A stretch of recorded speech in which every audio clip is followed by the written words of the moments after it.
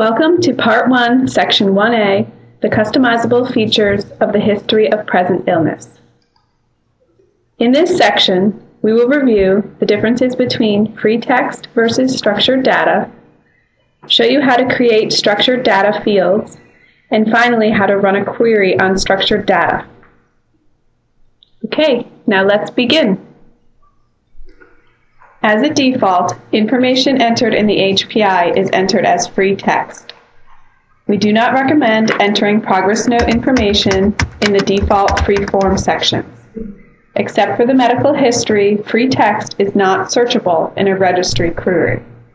In order to maximize the use of ECW for quality improvement and meaningful use, enter information as structured data instead. Any information that you would like to track or recall on a population level as part of a registry must be entered as structured data.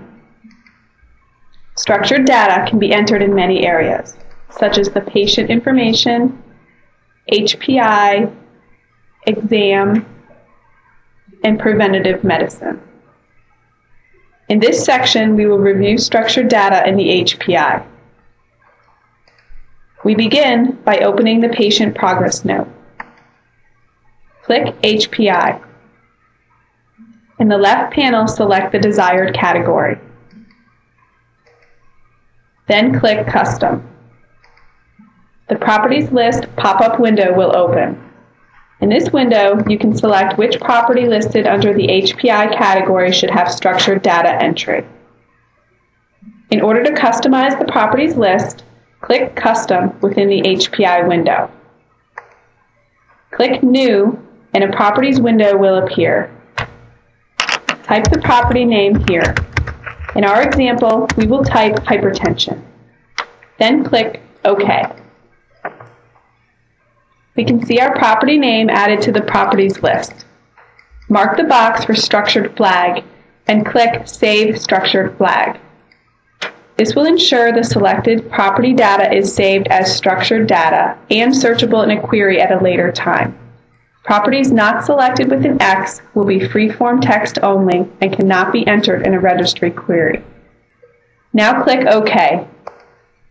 Click within the Notes box next to the listing of our previous selection, and the HPI Notes window appears. Click Custom to enter the properties of the notation. In the Properties window, click Add.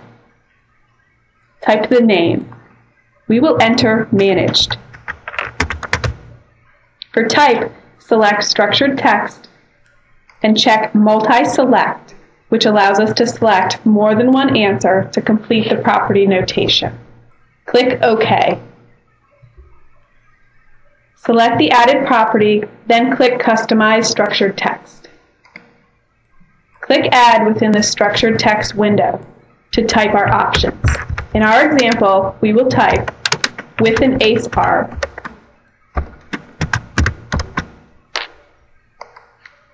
Then without an ACE ARB,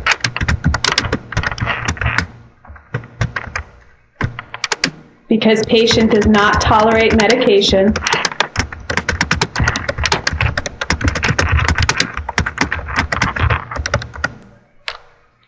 then without an ACE ARB,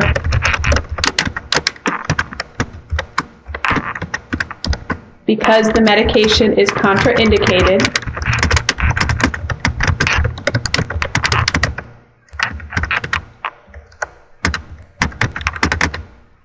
and finally, not applicable. Click OK to complete the property options. Then click Close. Back in the HPI Notes window, let's confirm that our options were added correctly. Click the Values box and our options will appear. Now check the box next to the appropriate choice and the structured data is added to the HPI in the patient's progress note. Now try it.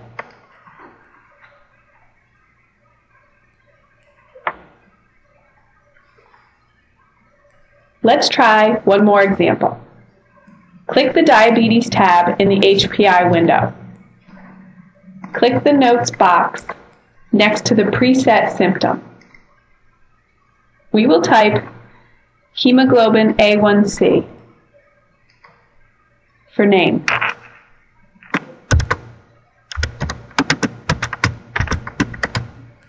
Then for type, we will select numeric. Since we want this to be a mandatory part of the note, we'll check the box next to mandatory. Going back to the HPI window, we can click in the Notes field and open the HPI Notes window. Click in the Values field and our number pad will appear. Enter the information here and click Close.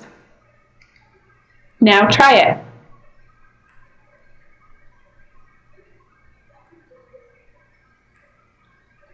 Finally, let's see if we can run a query. Select Registry from the left navigation panel. Click the Registry icon. Select Structured Data tab. Click the More button to search for our property.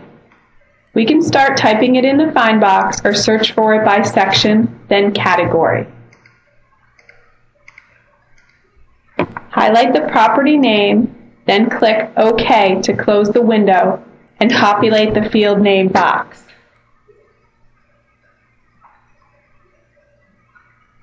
Next, enter values for the field and click Run New. We will see our patient appear below. Now try it.